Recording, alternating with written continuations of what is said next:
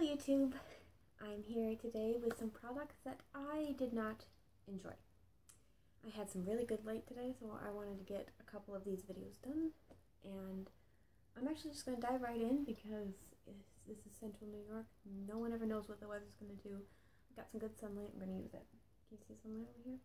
Anyways, so the first products that I have here are the LA Colors Jumbo Eye Pencils. First off, this is a massive amount of packaging, but that is literally all the product you get. You can't sharpen them, you can't twist them up. That is it.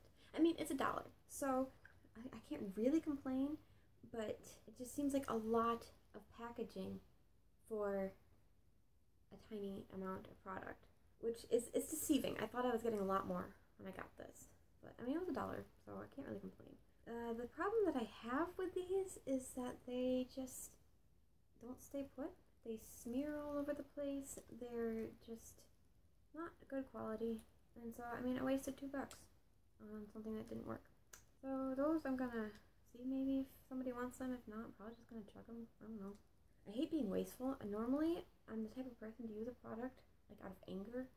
I will use it all the way up, especially if I spent good money on it, like that Philosophy eye cream I talked about a few videos ago.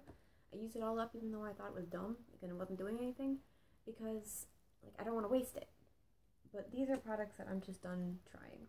Alright, the next one I have is from Younique, the Beachfront Self Tanning Spray. And I was so excited to try this. I had numerous people tell me how awesome it was, representatives and just normal people.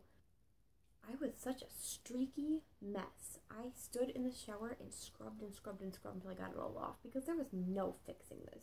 It was horrendous. I just, I'm blown away. But, I mean, it had a nice undertone. It wasn't orange or anything, but aside from that, it was awful. And it also leaked all over everything. So, yeah, the rest of this that's in here is going in the trash because I'm mad at it. This is actually something I used up. I mean, they're the little bottles that I got in, um, I want to say last month Target Beauty Box. They are the Beautiful Volume uh, Conditioner and Shampoo, and they're that special set that you're supposed to use the conditioner first and then the shampoo.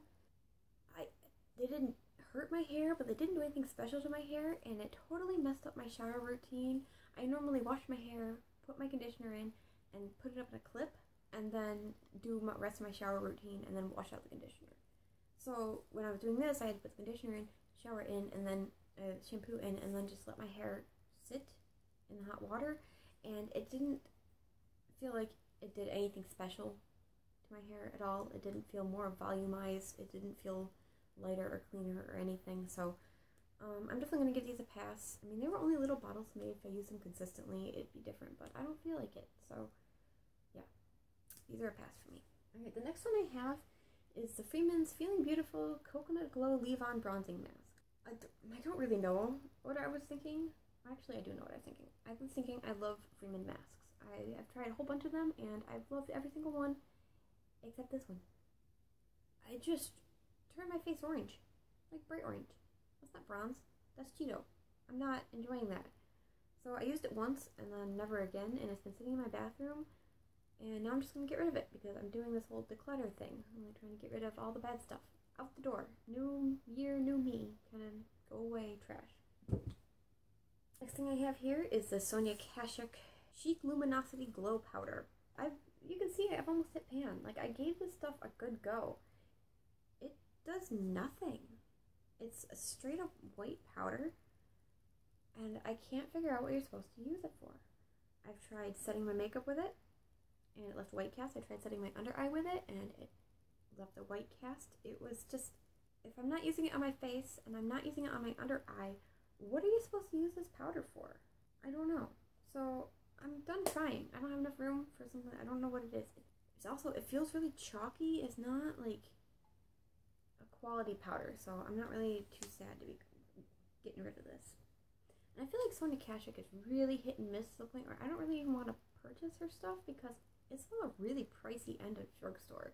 I don't remember how much this was, but it was more than I wanted to pay for something that didn't work. Alright, next thing I have here is the my uh, drugstore Rite Aid knockoff I think it's like supposed to be like Neutrogena's makeup remover. Yeah, compared to Neutrogena oil-free eye makeup remover. I have never tried the Neutrogena one, so I can't speak to that one, but this stuff smells horrendous. It smells like embalming fluid or something. It's just disgusting. I cannot use this on my face. I've used it to take swatches off. And that's all of that because I tried to use it on my face once and I was like gagging. It was disgusting. So I don't know what is in this thing that makes it smell so bad. If I knew I could avoid it in other products, you would think it smelled good because it had aloe and cucumber and stuff like that in it, but uh, something in here is just awful and I'm I'm gonna keep it to swatches, but I wanted to warn people because this is it was it was bad. All right, the next thing I have here is the Tarte Glisten Cheek Stain, like um a cheek stain, exactly like the product says. It's peach shade. I'm not a huge cream product fan, anyways. I got it thinking I was gonna get into it, but once you sheer it out, it almost completely disappears. There's like a shimmer there, maybe.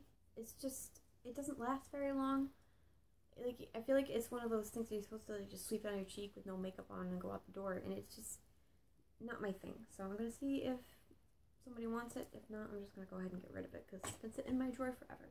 This is the That Gal uh, Brightening Face Primer by Benefit, and this it does brighten, but I feel like it made my makeup separate a lot faster, which is like the opposite of what I want for a primer.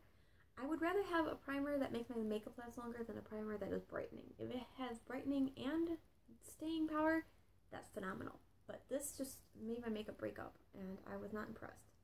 I've tried using it like a highlighter and other stuff. It's just not working. So, and the last thing I have that was kind of disappointing was the Pacifica Kale Juice Cleanse AHA Surface Rehaul Mask. It's supposed to be like an enzyme exfoliating mask. And if it did anything. I couldn't tell, but I feel like with an enzyme mask, I'm not really sure you would be able to tell. I didn't feel anything when I put it on, but I also didn't feel anything different when I took it off. And it's got some really great stuff in here. It has um, pineapple, papaya, aloe juice, ginger. I don't know what ginger is supposed to do. It does have hyaluronic acid, which is good, but I don't, I just, I didn't see enough of a difference to warrant repurchasing this, so I'm gonna go ahead and say thank you. Alright, that was it for my disappointing products that I have collected. I hope you enjoyed, and I hope that you are having a wonderful day. Thank you so much for watching. Mm -hmm.